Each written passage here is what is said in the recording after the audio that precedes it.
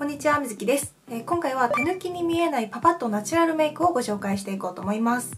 はい、まずはこちら &B の UV ミルクを使っていきます。SPF50 の PA4+。プラスこれ UV 効果は高めなんですけど、石鹸で落とせるくらいすごい優しめのものなので、すごい楽で使いやすいです。こんな感じの白っぽいちょっと柔らかめのクリームみたいな感じで、ちょっと柑橘系の香りがします。で、これを5点置き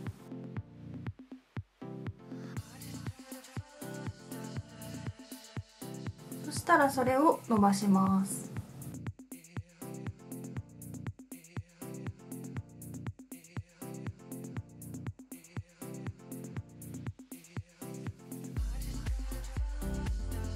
見てわかる通り結構伸びもいいです。で意外とベタつかないので下地としてもすごい使いやすいと思います。でこの残ったものをそのまま首に塗ります。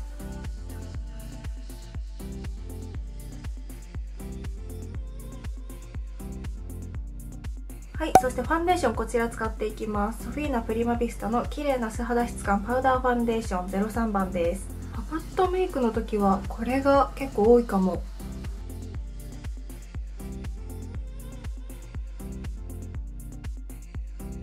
で今日はですね節分ということで姉の家で恵方巻きっていうかまあ巻き寿司を作るんですけど、まあ、買い出しくらいでほとんど外出はしないのでもうあんまりメイクはねしっかりめにしなくていいかなと思ってパパッとメイクをしてます。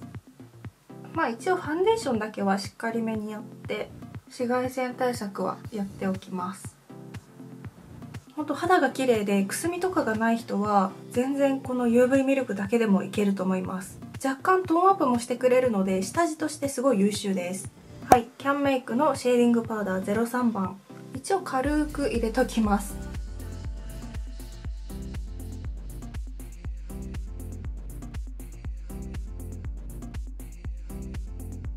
い。そしたら次こちらディオールスキンミネラルヌードルミナイザーパウダー。これを軽くブラシに取ってふわっと顔全体にのせます。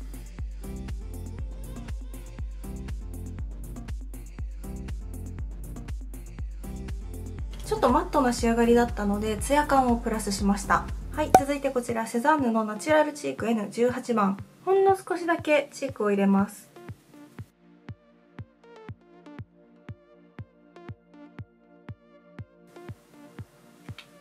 つも通りヘビーローテーションのパウダーアイブロウ &3D ノーズ02番。これで顔の彫りを作っていきます。なんかナチュラルメイクの時でも顔の彫りは絶対作るようにしてます。これだけでも全然変わるので私的にはこの工程は必須です。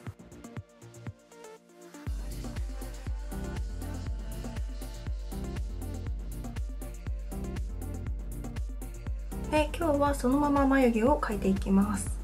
今日はアイメイクねあんまりしないのでちょっと眉毛もね若干ナチュラルめに仕上げます。長さもそんなに出さずに太さも本当ありのままの太さを生かしてうんこれで OK かな。はいそしたら &B のアイブロウマスカラライトブラウンを使います。この時に眉毛の脱色をしてればアイマスカラは使ってないと思います。と久々脱色しようかな。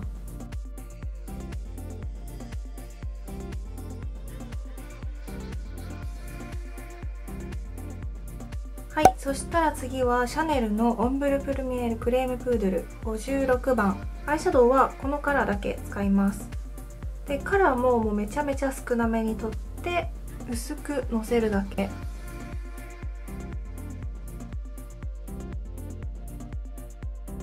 ょっとした彫りとツヤ感を出すために入れてます。でアイシャドウは塗ってないより塗った方があの目元のくすみが消えるので1色くらいは使うようにしてます。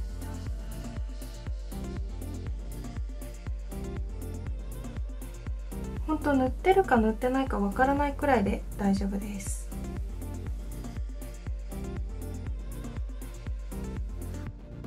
はいマスカラはこちら使います。不老不死モテマスカラのシャープ。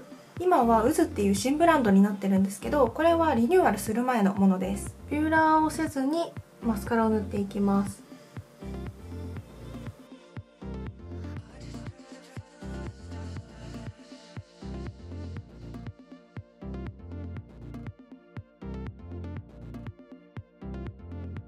れねビューラーしなくても勝手にこう軽く上がってくれるんですよ。だからナチュラルメイクの時すごい使えます。はいそしてアイライナーは不老不死のモテライナーリキッドを使います。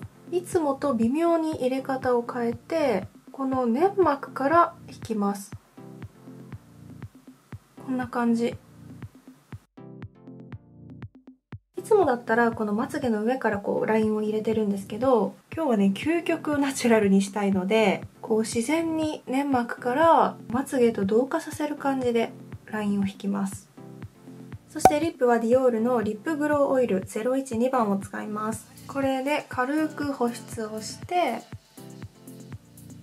ティント効果もあるのでとりあえずこれを下地として使います。でちょっとまだ色味が薄いのでキャンメイクのメルティールミナスルージュ05番を使います。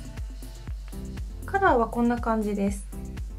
これを唇の中心に薄くのせて伸ばすだけ。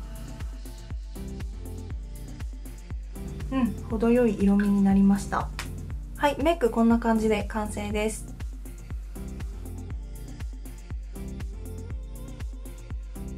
とね今部屋着なので洋服を着替えてきます。はい今日はこんな感じのダボっとしたメンズライクなシャツでいきたいと思います。今日はこんな感じで顔も洋服もシンプルでいってきます。では。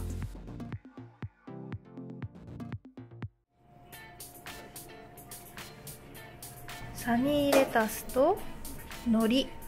これなんだっけ？ヒレカツとエビカツ？かっぱ巻きマグロネギトロ。かっぱ巻きじゃない？巻きにするけど カルビ。カルビ巻き？食べる？ん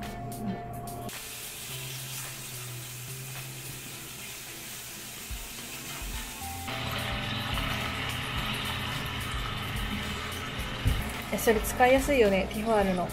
冷蔵庫にも直しやすいしうん。このままいけるよね。うん。この中にいいと？もうこの中でやっていい？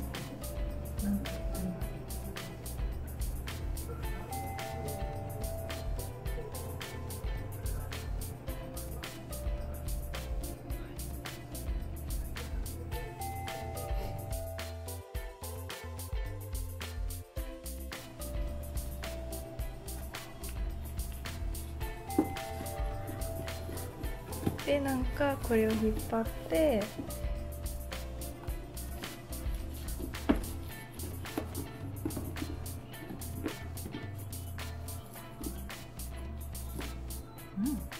肉系から巻くか。カルビとか。どのくらい入れる？ねうん。まあいっかこれ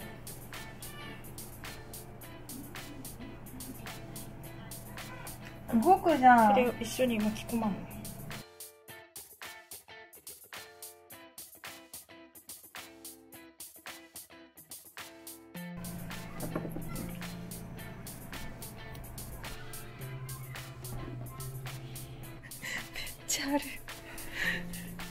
イノシシの名前わかる？イノシシの名前わかる？イノスケね。あのあそこだけでしょ？善逸が戦ったの Thank you.